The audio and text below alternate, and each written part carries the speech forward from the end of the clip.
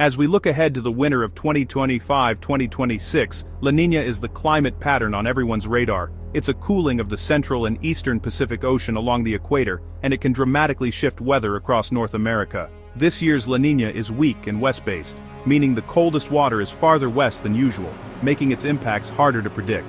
Instead of a steady winter, expect high variability, bursts of Arctic cold, then sudden warm-ups. NOAA says there's a 71% chance La Niña sticks around through early winter, but it may fade by spring. Typically, La Niña brings colder, stormier weather to the northern U.S. and warmer, drier conditions to the south. But with this year's unusual setup, the lines are blurrier.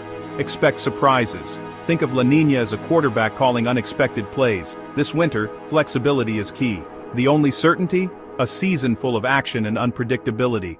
Let's see how this pattern will shape the country.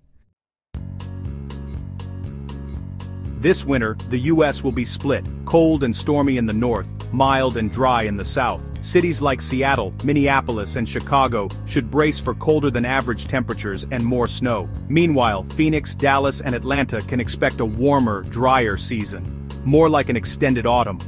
The jet stream, pushed north by La Nina, traps Arctic air up top and lets subtropical warmth flow across the south. This divide means icy roads and high heating bills in the north, while the south faces drought risks. The north will see an active storm track and plenty of snow, while the south gets less rain and snow than usual. It's a classic La Nina setup wet and wintry up north, dry and mild down south. Two winners, one country. Snow lovers, this is your year, if you're in the right spot. The Pacific Northwest and Northern Rockies are set for above-normal snow, with resorts like Mount Baker and Jackson Hole expecting deep powder. Northern California and the Northern Sierra could see big snow, but Central and Southern California will be hit or miss. In Colorado the North fares better than the South. Southern Rockies, Arizona and New Mexico may struggle with warmth and dryness. The Midwest and Great Lakes are prime for snowy, stormy weather, especially with lake-effect snow.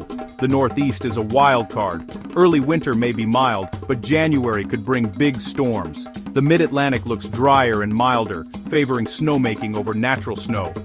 Alaska's interior will be warmer and wetter, while the panhandle turns colder and drier.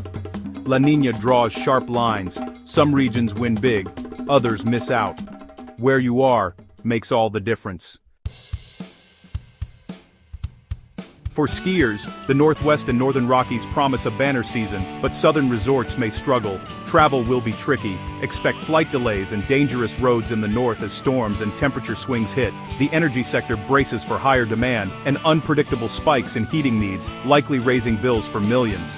Businesses face costly disruptions from weather-driven delays and supply chain hiccups. For everyone, the stop-and-start winter means staying alert. One week could be mild, the next, a deep freeze. Check forecasts often, prep your car and home, and be ready for rapid changes. This winter is about adapting, not settling in. Flexibility and preparation are your best tools. With a weak, unpredictable La Nina, the best advice is to stay flexible and informed. Rely on short-term forecasts, they're more accurate than seasonal guesses this year. Prep your home, service your heating, seal drafts, and stock an emergency kit. Ready your car with snow tires, a shovel, and warm gear. Don't wait for the first storm. Sign up for weather alerts and check updates regularly. If you travel, plan for sudden changes and possible delays. Being proactive beats being caught off guard. This winter, treat the forecast as a guide, not a guarantee. Prepare for anything, and you'll handle whatever La Nina throws your way. Stay safe, stay ready, and enjoy the ride.